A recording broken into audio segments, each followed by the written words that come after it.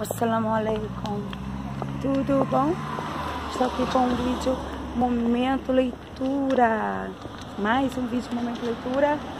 Aqui com uma matéria, mais uma matéria da Folha de São Paulo. Tá? Aqui da Folha de São Paulo. Estou na página A16, tá? Mercado A16. Vamos ver aqui. Estamos hoje em mercado. A16. Alcolumbre ameaça convocar General Heleno para explicar fala contra Congresso. Tá? Então, o presidente do Senado pode pautar requerimento para que ministro do GSI explique acusação de que parlamentares chantageiem governo. Então vamos ver aqui a matéria escrita por Daniel Carvalho e Júlia Scheibe. Daniel Carvalho e Júlia Scheibe. Brasília, o presidente do Senado, Davi Alcolumbre Juliano, pretende pautar para a primeira sessão da Casa após o Carnaval, em 3 de março, requerimento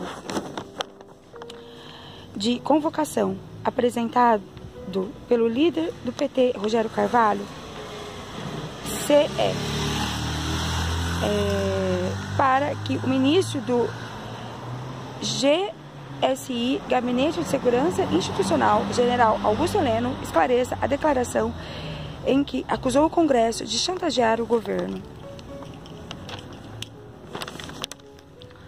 Então, essa é uma matéria, tá? Vou avançar mais um pouquinho. A aprovação do requerimento para que o ministro vá se explicar no plenário do Senado é por maioria simples, maioria dos presentes. E mesmo quem concorda com o que disse Heleno, entende que ele não poderia ter se expressado publicamente daquela forma, pois agravou a já capenga relação entre governo e Congresso.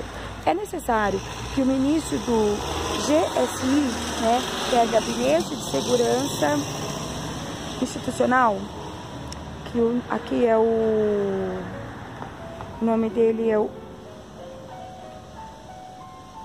para Augusto Heleno, né?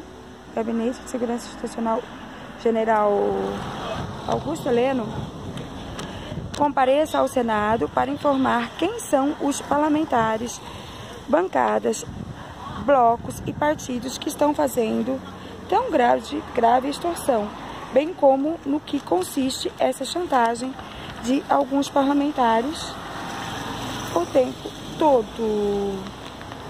Rogério Carvalho, da, do SE, líder do PT no Senado.